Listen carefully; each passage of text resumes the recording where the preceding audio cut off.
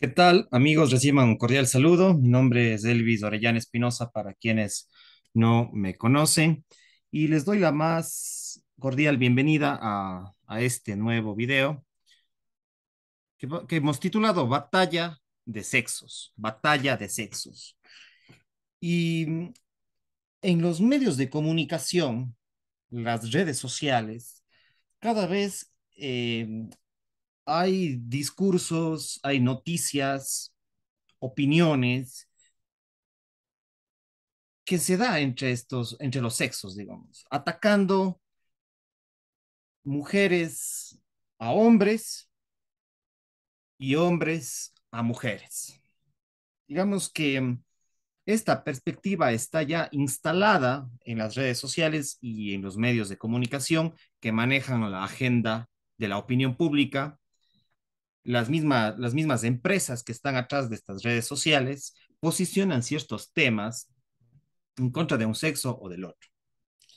Entonces, en los últimos 50, 70 años, en los países europeos, en los países norteamericanos como Estados Unidos, como Canadá, incluso México, en Sudamérica, el caso argentino es también un, elemento a considerar, especialmente en lo que tiene que ver con los medios de comunicación y lo que tiene que ver con el aspecto jurídico, con, con las leyes que se están generando respecto a los sexos. ¿sí? Entonces, es un elemento de preocupación social, psicosocial o socio-psicológica, como lo quieran mirar, y por supuesto, evidentemente desde la filosofía hay cada vez una batalla de sexos, una guerra mediática, una guerra cultural. Vamos a revisar ahora algunos autores. Yo creo que es importante autoeducarnos sobre estos temas para no caer en sesgos de, opinión que no nos eh, influencien fácilmente los medios de comunicación, porque mm, he visto eh, que los mismos medios de comunicación provocan esta batalla de sexos, de esta lucha de sexos. Antes hablábamos de una lucha de clases entre los proletarios con los eh, contra los eh, capitalistas y los capitalistas contra los proletarios. Digamos, de alguna forma se daba una lucha de clases. También, de alguna forma, hay una lucha de etnias, a nivel internacional. Pero lo que más se evidencia, porque es el 50-51% de la población contra el otro 50 o 49% de la población. Entonces, en, lo que más toma fuerza en los medios de comunicación y en las redes sociales, en las noticias, en la agenda mediática, en la agenda de la opinión pública, de los medios de comunicación y, la, y las redes sociales, pues se está generando esta batalla de sexos. No podemos negar que existe ya una batalla de sexos a nivel psicológico, eh, cultural, etc., artístico incluso. Vamos a, revisar, yo siempre me, para no ser una opinión así simple, eh, siempre me remito a autores importantes que están hablando de esta batalla de sexos eh, por ejemplo, si nos remitimos a la historia de hace 70 años, casi, más de 70 años, 70, 75 años, se publicó un libro eh, de Simone de Beauvoir en Francia que hablaba en contra del sexo masculino. Esta escritora, esta filósofa, eh, Simone de Beauvoir, publica algunos libros en contra del sistema patriarcal, tomando los principios de Marx en contra de los hombres y de este sistema que según ella era dominado por los hombres, que se llama el segundo sexo. En 19, si no estoy mal, es en 1949, como ya he mencionado en otros videos. El segundo sexo eh, digamos, victimizando a las mujeres y viendo a los hombres como victimarios, tomando esta perspectiva y estos principios de Marx y del existencialismo de Sartre, publica El segundo sexo Simone de Beauvoir, esta francesa. Y a partir de ahí surge un, un feminismo de género en contra de los hombres y del sistema patriarcal. Sin embargo, el feminismo, cuando ella escribe en 1949, ya tenía más de, más de 100 años, ¿sí? más, casi 150 años, el feminismo ya existía antes de Simone de Beauvoir. Y a lo largo del siglo XX y antes que ella, en la primera mitad del siglo XX, ya habían otras autoras que también hablaban de esto, pero digamos que ella es fundamental en esta lucha de sexos, en esta batalla de sexos, porque consolida el feminismo para muchos de, de segunda, para otros de tercera ola, depende del autor que tomemos, pero otra corriente del feminismo que es el feminismo de género. El segundo sexo es el fundador de esta perspectiva. Entonces, en Francia, en Europa, en los Estados Unidos, ya se consolida esta visión en contra de los hombres, en contra del sexo masculino, del patriarcado. Entonces, es una feminista existencialista, seguidora de, Marx, de algunos de los principios de luchas de clases de Marx. Entonces, asimismo como los obreros luchaban contra los supuestos explotadores, eh, según la perspectiva de Marx, que eran los dueños de los medios de producción, Simón de Beauvoir toma esos mismos principios para que las mujeres luchen contra el sistema patriarcal, contra el poder de los hombres. Y a partir de eso va generando otros textos feministas, se autoidentifica como feminista y van surgiendo otras autoras. El mismo, eh, el mismo Michel Foucault, que si bien no fue eh, feminista, pero sí perteneció un tiempo al Partido Socialista, al progresismo, eh, él directamente no era un feminista, pero sí un progresista. Eh, también él se autoidentificó como homosexual y publicó muchos libros, sentando las bases para una filosofía también eh, feminista. Muchas feministas, muchos progresistas toman las perspectivas de Michel Foucault. Directamente no, no promovió directamente el feminismo, aunque por supuesto en sus libros tiene mucho que ver eso de ahí. Michel Foucault también que publicó en la década de los 40, de los 50 hasta los 80 y mm, fue un gran pensador, Michel Foucault, del progresismo.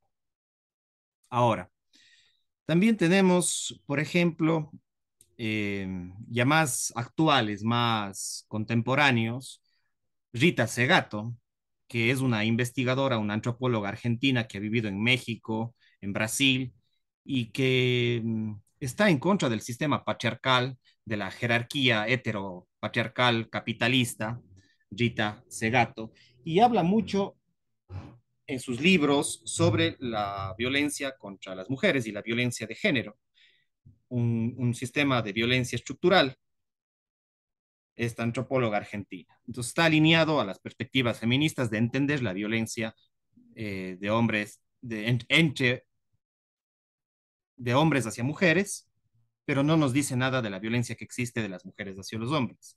Ella no nos habla de, los diferentes tipos de violencia que a lo largo de la historia eh, han, tenido también las mujeres en contra de los, eh, de los hombres. De eso no se habla. Y los medios de comunicación no hablan de eso. Lo que más están hablando hoy en día es del femicidio, de la, de las, uh, de la violencia de los hombres contra las mujeres, que evidentemente existe. Hay datos, hay estadísticas, eh, el número de mujeres que mueren eh, cada semana o cada día o, cuentan por horas, eh, cuántas mujeres mueren en manos de sus parejas, de la violencia que existe, pues evidentemente que hay estadísticas y hay toda una investigación según la perspectiva feminista, las hipótesis y las tesis de las posibles causas de esa violencia. Entonces, Rita Segato es una especialista en ese tema, desde la mirada feminista. Por supuesto que hay una mirada de la violencia también desde otras perspectivas, como las investigaciones de Giovanna Carril, esta española, que ustedes ven en la pantalla, ¿sí? Eh, que postula una diferente forma, porque ella también plantea que hay violencia de mujeres hacia hombres, de mujeres hacia niños. Eh, muchos niños mueren a manos de sus madres, de sus cuidadoras, y también Giovanna Carril habla de la violencia que existe de mujeres a niños en lo que tiene que ver con la alienación parental. La alienación parental es un tema gravísimo, cómo ejercen las mujeres, especialmente, porque también hay hombres que hacen alienación parental, evidentemente, pero la mayor parte de quien ejerce la alienación parental son las mujeres contra los niños. Y además, hay autores como Agustín Laje que defienden los derechos de los niños desde el vientre materno, desde la concepción. Mientras que el feminismo lo que está promoviendo es el aborto, incentivar leyes a favor del aborto, y desde la perspectiva de Agustín Laje, que es un argentino, un filósofo y politólogo, eh, paleolibertario, eh, es un autor pro vida que defiende los derechos de los niños, niñas y adolescentes desde la concepción. Y él le llama asesinato a lo que es el aborto promovido por autoras feministas. Muchas autoras feministas plantean y promueven que hayan leyes que, eh, para salvar a las mujeres y que están a favor del aborto en casos de violación, otras más radicales en, en todos los casos como un método anticonceptivo. Digamos, ahí hay todo un tema complejo. Entonces hay las pro aborto y hay los pro vida. Uno de los grandes eh, defensores pro vida es Agustín Laje y que está en contra del progresismo radical, en contra del aborto son temas que están ahí en la agenda pública, que están en los medios de comunicación. Hay medios de comunicación que solamente dan una mirada y no dan otra. Eh, yo acá lo que intento es eh, dar todas las miradas, o por lo menos una muestra de esas miradas, respecto a lo que tiene que ver con la batalla de los sexos. Y evidentemente que en esta batalla de sexos, en esta guerra de sexos, en esta lucha de sexos, eh, los más afectados pueden ser los niños, niñas y adolescentes. ¿Ya? Y esta batalla de sexos no solamente se da en el hogar, sino que se da también en las redes sociales, incentivado por las redes sociales, incentivado por los medios de comunicación, incentivado por actores políticos y económicos globales. La misma ONU provoca esta batalla de sexos en contra de, a favor de un género o a favor del otro, eh, plantean ahí algunas políticas leyes. A veces estos organismos internacionales están sobre los estados y les obligan a los estados y a, los congresos a hacer determinadas leyes a favor de un sexo o del otro. Entonces hay que tener eh, muy en cuenta. Y los más afectados, evidentemente, van a ser los niños, niñas y adolescentes en esta batalla de sexos, que como digo, creo que ya tiene una mirada desde hace 70 años, pero en los últimos 20 años como que se ha acelerado esa batalla de sexos, especialmente en países como el Ecuador, Argentina, España, Estados Unidos, los países de América y de Hispanoamérica, se está generando mucha discusión sobre estos temas. Entonces, es importante cada vez formar a los adolescentes, a los padres de familia, madres de familia, representantes de familia y sobre todo a los medios de comunicación que son los que provocan esta batalla de sexos, construyendo noticias determinadas y eh, omitiendo otras noticias que no les interesa. Los medios de comunicación no actúan con esta diversidad que les estoy mostrando acá, a veces solo muestran de un lado o del otro, y creo que es importante eh, mostrar toda esta perspectiva de ideologías diferentes respecto a lo que es la batalla de sexos. Por ejemplo, Paul Beatriz Preciado nació como mujer y ahora es una transexual. Es, em, por eso se ha puesto Paul, que es un nombre masculino, eh, Beatriz, que es un nombre femenino, por eso es transexual, y eh, Paul Beatriz Preciado, que toma los postulados de Judith Butler, de la teoría queer, de las teorías feministas, de las teorías marxistas, para hablar en contra del sistema capitalista, en contra de la derecha, en contra del conservadurismo, incluso en contra del liberalismo, esta filósofa o filósofo español, Paul Beatriz Preciado, que es un transexual. Entonces tiene muchos libros que incentivan a esta batalla de sexos, a esta guerra de sexos, lucha de sexos, como quieran llamar. Warren Farrell fue feminista en los años 70 y ahora él, después de, de encontrar muchas cosas negativas en el feminismo de los años 70, él se fue convirtiendo a lo que hoy conocemos como el masculinismo. Si bien el masculinismo ya tuvo sus antecedentes, creo que eh, Warren Farrell le dio más eh, auge, le dio más fuerza desde los años 70 u 80, que ha escrito y ha publicado muchos libros, este autor, sociólogo, politólogo estadounidense, Warren Farrell. Yo en mi canal de YouTube tengo varios videos hablando de Warren Farrell en específico y sobre cada una de estas personas, de estos personajes, de estos analistas sobre el tema que provocan esta batalla de sexos. Entonces, Warren Farrell es un autor masculinista. El masculinismo es una perspectiva psicológica, sociológica, filosófica y un movimiento social que defiende los derechos de los hombres, ¿sí?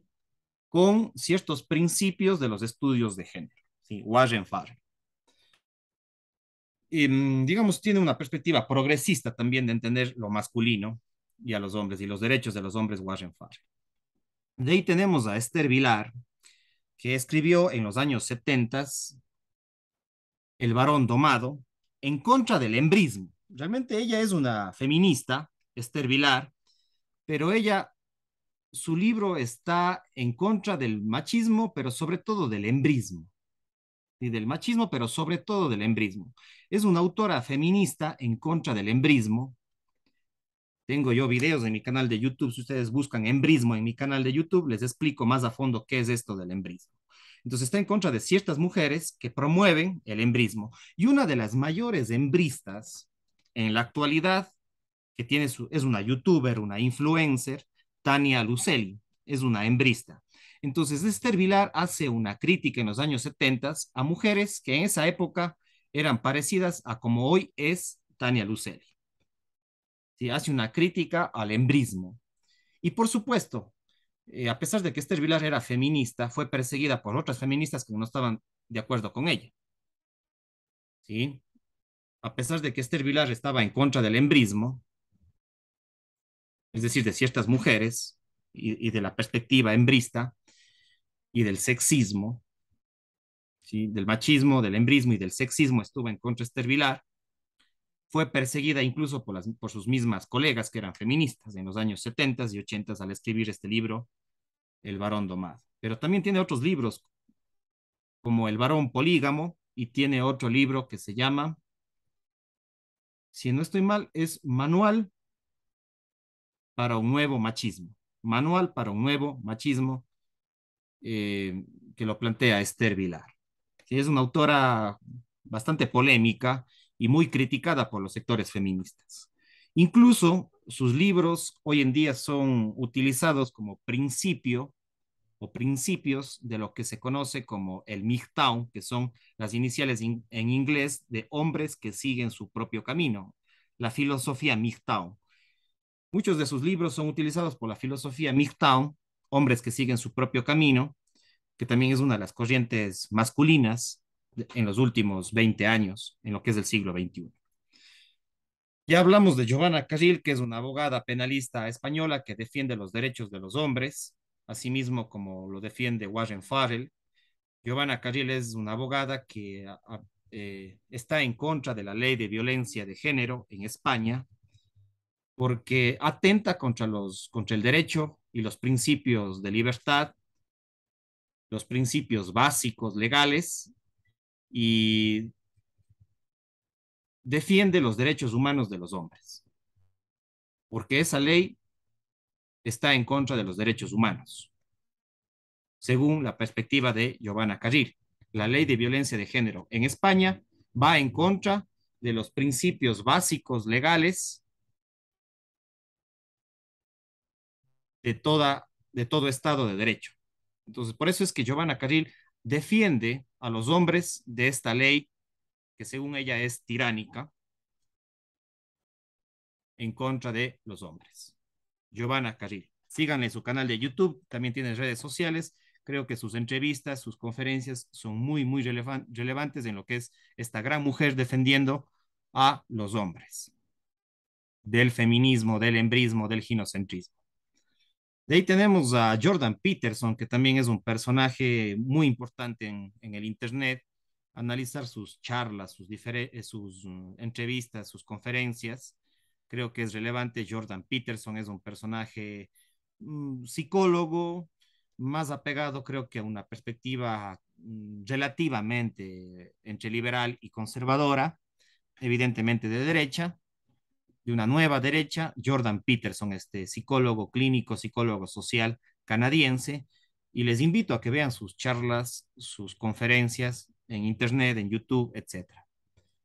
Por eso es que les muestro a, ellos, ¿sí? Para que ustedes, si es que se interesan en el tema, pues vayan a las fuentes, vean la vida y la obra de cada uno de estos personajes y ahí sí, pues puedan sacar sus propias conclusiones. Creo que esa es la educación más oportuna que se puede dar, es mostrar la diversidad y que ustedes mismos lo busquen, ¿ya?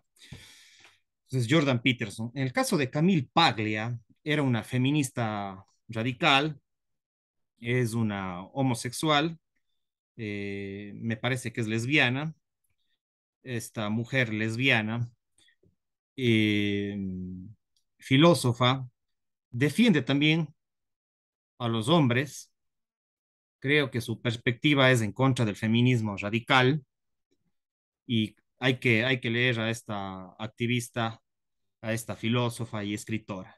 Hay que leer, buscar sus conferencias, sus charlas, sus discursos, entrevistas en YouTube y en, el Internet en general. Y de ahí, como ya hablé de Agustín Laje, es uno de los personajes más reconocidos. Yo tengo varios videos sobre él en mi canal de YouTube, asimismo como de varios de estos personajes que ven aquí. Y Tania Lucelli, como les dije, es una youtuber que incentiva el embrismo, es una de las principales representantes del embrismo y de un conservadurismo radical. Eh, afirma que eh, los hombres tienen que ser 100% proveedores de las mujeres en el sentido económico y pues da consejos a sus seguidoras en, en YouTube, ¿sí? Entonces creo que es una de las símbolos en este momento de los personajes más fuertes de lo que es el embrismo radical. ¿Sí? El embrismo y el conservadurismo femenino radical. Tania Luceli, síganle su canal de YouTube y en, sus, en las redes sociales. Bueno, hay muchísimos más autores, pero no, no quiero a veces cansarles y ahorita ya estoy entre los 22, 25 minutos. No quiero pasar más de, la, de los 30 minutos en este video, pero sí quiero invitarles a la reflexión, porque hoy en día hay una batalla de sexos, hay una batalla cultural, como dice también Agustín Laje. Eh, unos hablan de la violencia de género, otros hablan de la violencia de las mujeres contra los hombres, de, la, de las mujeres contra los niños, de las mujeres contra los ancianos, y pues se está dando una batalla de sexos. Principalmente a nivel jurídico es lo más preocupante, a nivel legal. Estos temas hay que tomarlos en cuenta porque al fin y al cabo somos hombres, somos mujeres, hay personas que son homosexuales y pues todos estos estas narraciones, estos escritos, estas opiniones, las noticias que se generan, las leyes que se generan, los presupuestos y el dinero que se invierte para estos temas es tremendo. Especialmente ha venido teniendo más fuerza en los últimos 20, 30 años en países como el Ecuador, Sudamérica, Argentina, España, que están muy afectados por estas discusiones, estos debates, que siempre es bueno analizar el tema, pero más formándonos, teniendo autodidacta, autodidacta, formándonos, contrastando información, viendo los polos opuestos, ¿sí? Contrastando esos polos opuestos y de ahí sí sacando mis propias eh, conclusiones. Y personalmente yo siempre me aproximo o intento por lo menos aproximarme a puntos más equilibrados, no tan extremistas, viendo los pros y contras de cada uno. Evidentemente que uno tiene una cierta afinidad por cierto autor o por ciertas tendencias, pero como filósofo, como educador, como psicólogo que soy, creo que es importante eh, mostrar toda esta perspectiva y, educar, educar a las nuevas generaciones, a los padres de familia, a las madres de familia, a los cuidadores de niños, de niñas, de adolescentes, eh, educar a los periodistas, a medios de comunicación, a políticos, educar a la sociedad sobre, este, sobre estos temas que realmente son de reflexión y de reflexión profunda, para no caer en fanatismos, en extremismos sobre est estos temas que están ahí. Eh, bueno, con esto me despido. Cuídense mucho, pasen bien, visiten mi canal de YouTube. En Udemy tengo varios cursos que también les invito a que me visiten como Elvis Orellana Espinosa en Udemy, en YouTube y en las diferentes redes sociales, TikTok, Instagram, Facebook, también estoy activo en las diferentes redes sociales. Cuídense mucho, pasen bien. Chao, chao.